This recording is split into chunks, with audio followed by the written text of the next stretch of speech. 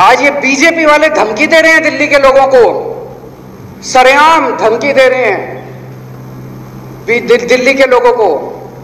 कहते हैं, हमारे पास ईडी है इनकम टैक्स है सीबीआई है, दिल्ली पुलिस है, सारी दौलत है।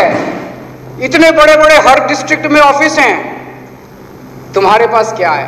तो दिल्ली की दो करोड़ जनता एक साथ बोलती है हमारे पास हमारा बेटा केजरीवाल है।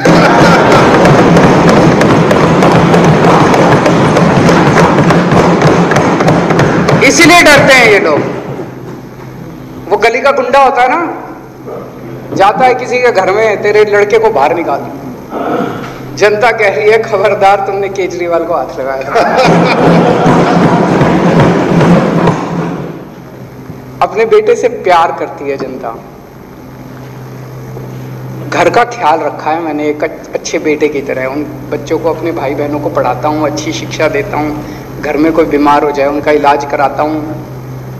इसलिए ये कभी चुनाव कराएँगे इनको पता है कि दिल्ली की जनता अपने जनता दिल्ली की जनता हमेशा हमेशा अपने बेटे और अपने भाई के साथ खड़ी होगी। अब इन्होंने नई धमकी देनी शुरू कर दी, बीजेपी वालों ने। आप लोगों ने भी सुना होगा, खूब चल रहा है। कि दिल्ली में अब अगले असेंबली चुनाव ही नहीं होंगे। कह रहे आप फुल यूनियन टेरिटरी बनाएँगे दिल्ली को। काफ़ी चल रहा है आजकल कि फुल यूनियन टेरिटरी अगले चुनाव ही नहीं होंगे। अब ये असेंबली असेंबली खत्म यूटी विद लेजिस्लेचर खत्म। अब अगला अगला। अमित शाह जी ने धमकी दिया। हद हो गई जी।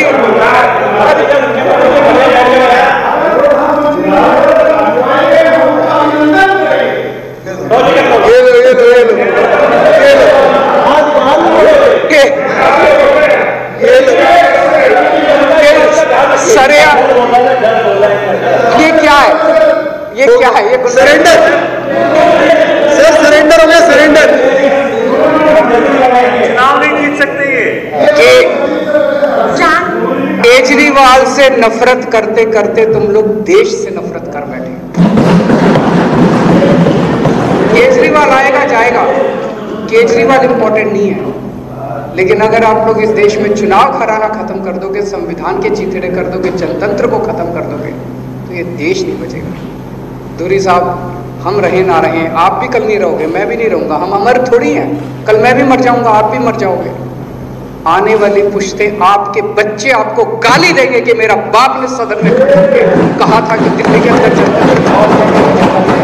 आपके बच्चे गाली देंगे, मैं आपको लिख के दे रहा हूँ आज। कि आपने सदन के अंदर खड़े होकर कहा था कि मेरे बाप ने कहा था, सदन के अंदर खड़े होकर कि जनतंत्र खत्म कर देना चाहिए इस देश से।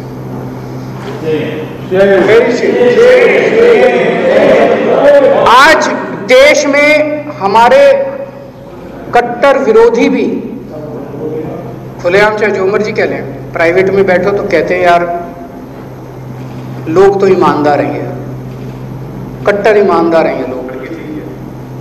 भ्रष्टाचार नहीं करते, पैसे नहीं खाते।